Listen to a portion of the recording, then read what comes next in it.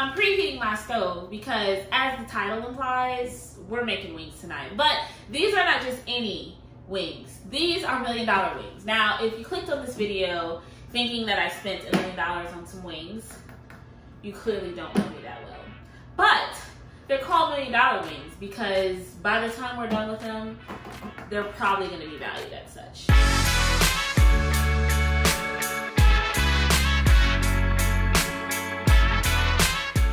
Okay, so first things first, like I said, I got my oil preheated on medium high heat. This is gonna actually be a fairly quick recipe. At least I think it will be. Now I want you to get yourself some clean, feathered party wings, and we are going to season these super simple. Now I'm seasoning, oh, oh, okay. One moment, please. They say when you spill salt, you should throw some over your shoulder. Here's the thing. I'm not cleaning salt off my floor. I refuse to do that. Anyways, I'm seasoning this chicken super simple because it's gonna have a sauce on it that is literally going to be the star of the show. The sauce is what is going to tie this whole thing together. That I can promise you. So, literally season this super simple salt and pepper. That is it. Now, if you did want to season your wings further, by all means, feel free to do so. I have lately, I'm gonna put you on a little game. Lately, I have been seasoning my chicken with tangin or tangine. I don't know how to say it. I bought this for another recipe. It was dope there. If you have this in your cabinet and you want to put this on the chicken, you can do that. I'm not mad at it. I just don't want the taste of lime in this particular recipe. This recipe is definitely gonna be silky. Like, silky velvet wings. I think that's the only way I can describe it. Silky velvet million dollar Parmesan garlic wings. Like, I know that's a lot. I know that's a lot, but trust me, trust me, it's gonna be all that and more. There, now listen, every recipe, every single recipe, I'm like, try it, send it to your mom and them, every single one. This recipe, I'm gonna go ahead and say it in the front part of this video, try this, send it to your and them. Seriously, send this recipe to your and them.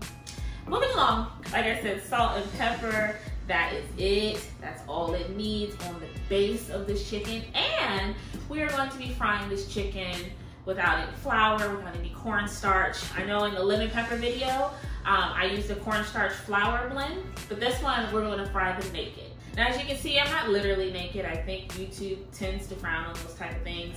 I tend to frown on those type of things. But I will say this, and this is not an ad or sponsor, I have been living in this flannel for the past three weeks. I say that to say, if you see me in this flannel in the next three or four, five, six or seven videos, just mind your business, okay? Okay, so my oil isn't hot yet, and that's okay because we're gonna go ahead and get the rest of our ingredients together. Now, a key component in this Velvet Silky Million Dollar Parmesan Garlic recipe is garlic, okay? Um, you can incorporate garlic in the seasoning if you would like. I'm gonna actually incorporate fresh garlic. If you have minced garlic, that is completely fine. I'm not a garlic purist. Um, for this particular recipe, there are some recipes that I'm like, don't use the stuff out of the jar.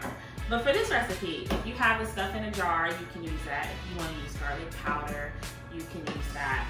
Um, you want to use fresh garlic, you can use that. Crushed garlic, you can use that. Try to get little small pieces as, as small as you like it. Nobody typically likes to bite in large chunks of garlic, so try to get it small. Set this aside. And at this point, your oil should be hot enough to fry. So, drop your chicken wings Okay, so while the chicken is frying, I'm gonna go ahead and get our sauce together.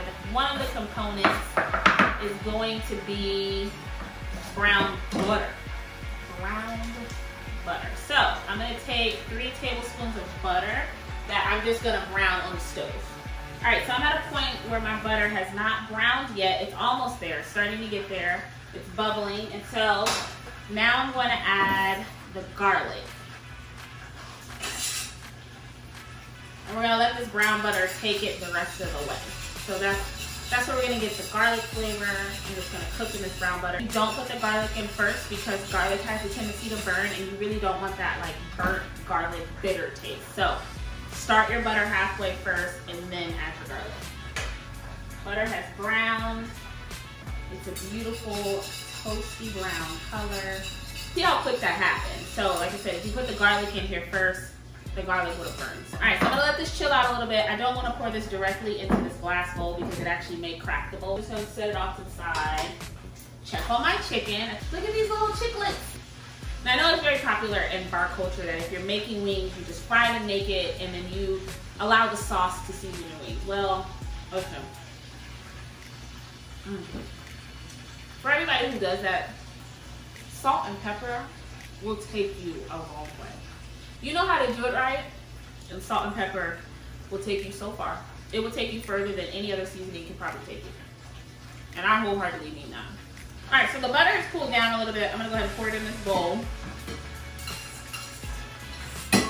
And I know you're probably thinking, she's gonna toss those wings in the butter garlic sauce and put some cheese on top and call it a day. I'm not. Reason I'm calling these wings million dollar wings is because of the creme fraiche. My God. This will legitimately change your life. So to the bowl, I've got some brown butter. I'm gonna take some room temperature creme fraiche and I'm gonna drop it in. The reason being room temperature is because I don't wanna keep this creme fraiche up. It has a tendency to melt and we don't want that. So that was probably about three or four tablespoons of creme fraiche. Not the, that wasn't the whole canister. I just I used it for something else. Do you see now where I'm going with this? Toss them in this sauce. You can use a whisk if you like. As long as the chicken doesn't get stuck in the whisk. Give it a toss. You see, you do you see what's happening now? See why the wings are million dollar wings? A plate. The heat from these wings are heating it up ever so softly. Now we're gonna take them out. Let them sit off to the side. Let them think about their process of getting eaten. And of course, you cannot have Parmesan garlic wings without cheese.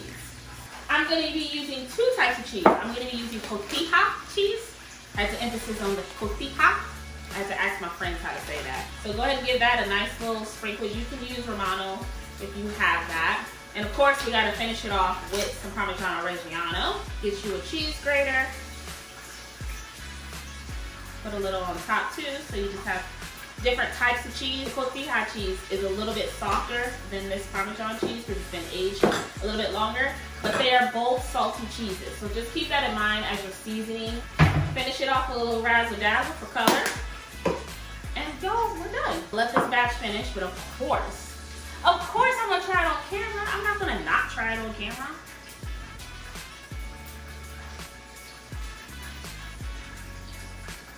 Oh.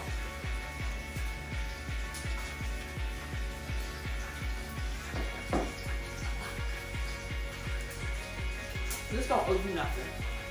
This stuff is bomb, y'all. They're so rich. Hence million dollars. Like I said at the beginning of this recipe, try this. Send it to your mama.